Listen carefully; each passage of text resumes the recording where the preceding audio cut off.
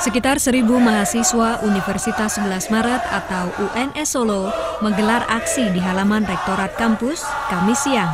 Dalam aksi besar-besaran ini, mahasiswa menuntut tiga hal masalah uang kuliah tunggal atau UKT di UNS. Aksi yang dimotori Badan Eksekutif Mahasiswa UNS dan diikuti seribuan mahasiswa dari 11 fakultas di UNS dimulai sekitar pukul 13 waktu Indonesia Barat. Dalam aksinya, mahasiswa membawa berbagai macam atribut seperti bendera, spanduk, dan poster. Dalam aksinya, seribuan mahasiswa bergabung untuk menuntut tiga hal.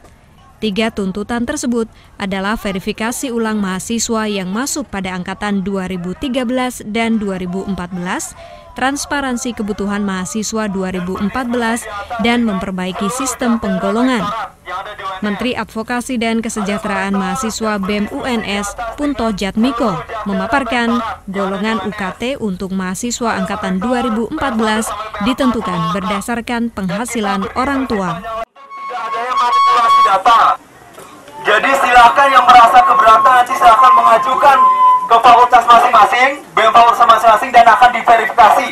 Dan nanti ketika memang sesuai dan tidak cocok dengan kelasnya, maka akan dilakukan pemindahan golongan.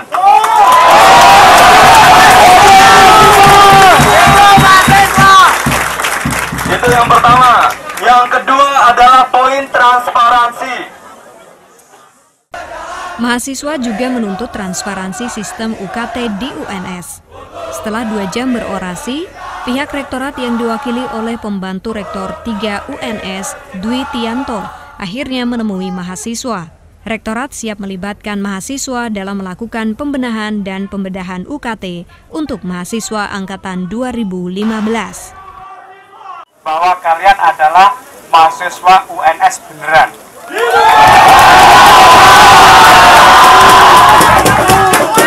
Yang kami maksud adalah bahwa Sokip Angriawan, Solo Pos TV.